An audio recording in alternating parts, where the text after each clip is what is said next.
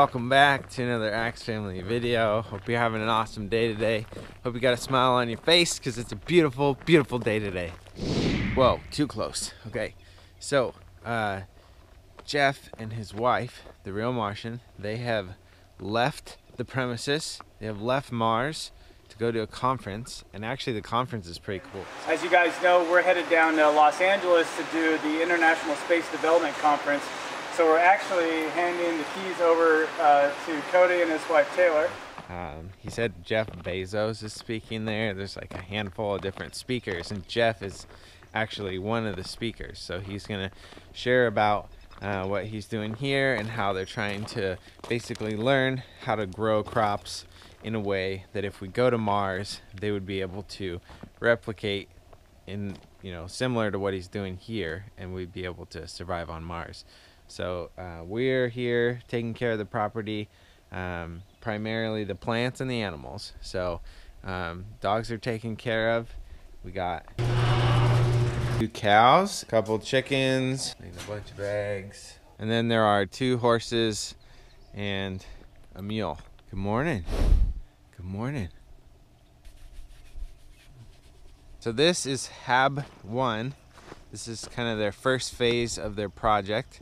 It's basically a giant greenhouse and they have a bunch of plants that are growing on the inside using an aquaponics system uh, which we kind of talked about in the last couple videos and you've probably seen a few clips. And so um, they kind of walked us through what we need to do every day to just keep this place running and let's go inside. So I also mentioned before that uh, the shoes that we wear inside the building have to be different than the shoes that we wear outside primarily because they don't want any manure um, from the horses or the cows um, to come into the building. We wrote down a list of everything that we gotta do. So Jeff and Mrs. Uh, Martian, if you're watching this, um, you can see if we're doing everything correctly. Uh, but we just switched the fridge from six and a half to seven. Hi. And what's next on the list? So we need to move all of these uh, trays over to another trays of what? And if you saw them yesterday, these are the radish that I just planted yesterday, and these are in germination. They were all compacted down, and just overnight, last night, you can see how much they've grown up and just shot up, and they've tipped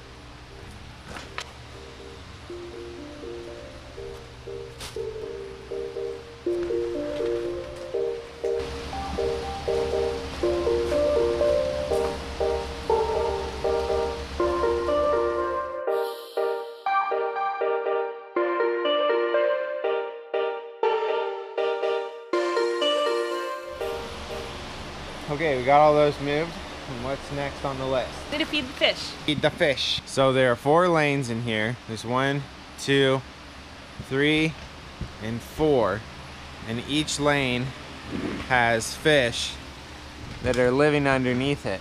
And there's a variety of type of uh, food for them. And so uh, depending on what lane it is, we do a different mixture of the type of food and we just throw it in there for them. And that's only once a day uh, that we have to feed them. Yeah, every other day. Every other day? Yeah. Yeah, yeah.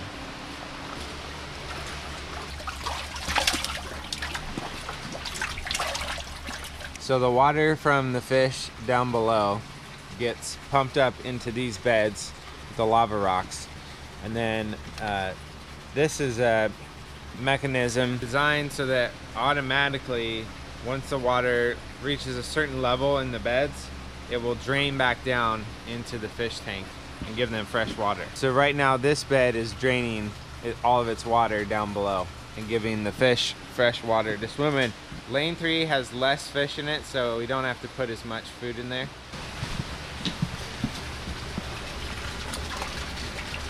All right, this last lane is the lane that the fish go crazy in. Oh, oh! Okay, now that the fish are fed, we need to water the microgreens. Specifically, these are kale.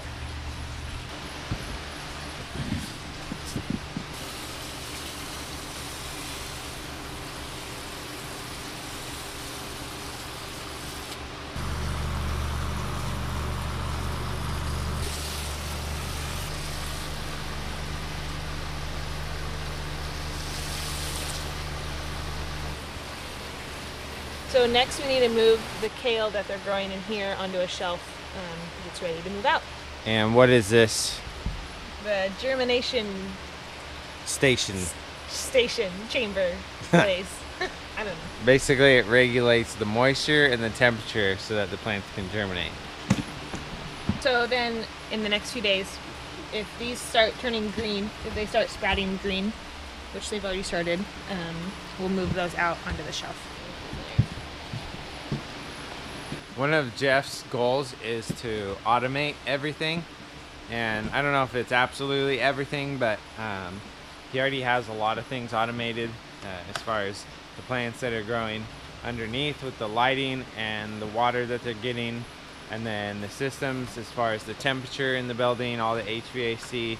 So Jeff designed all of this and they built all of this. And even like the software that tells uh, the computers of what to do with the different plants. Like Jeff designed all that software, and he's able to like pull it up online from anywhere in the world. If there's Wi-Fi, you know, if he's in town, he can look up on his phone and see how the building's doing. He has warnings that are in place that'll give him signals. So it's really impressive. Like uh, these plants here, like this is a grapefruit tree and you know it's automated. There's a little grapefruit. There's a little grapefruit. This is a clementine and a banana tree. This is an almond tree peach tree apple tree. Variety of trees right here. Uh, there's corn growing over there. So many different types of plants in here. I can't remember all of them i asked him the other day uh, about bees like is he planning on having bees as part of the system? And he said that in the plans uh, over in this area they were planning on having bees as well as some other things. So this is the kale that we just pulled out of the germinator and this is kale that's been out of the germinator for a few days. So some of these uh, kale need some water so we're gonna water them. Good job Taylor. So this is a solar system. Ah, I see what I did there solar system planets. So this is the the whole system runs off of solar power and these solar panels is what provides that.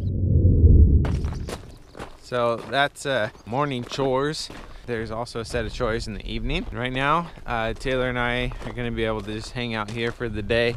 This is a super beautiful property and lucky and privileged to be here. We're very thankful that we get to be here and hang out here. Beautiful view of the mountain super peaceful. I mean there's birds chirping all the time. It's an awesome place. So we're gonna hang out here today. I'm gonna actually do a bunch of editing. As we've been going and visiting different people we've been trying to do different projects and things that will help them out and so Jeff has a YouTube channel like I do and he has about three videos he said of footage that needs to be edited but he just hasn't had the time to edit it. So today I'm gonna sit down and go through his footage and edit those videos for him which for me like that's really cool something that um, I've been trying to improve on a lot with these videos working on my editing and to be able to help somebody else out uh, with something that I'm really enjoying.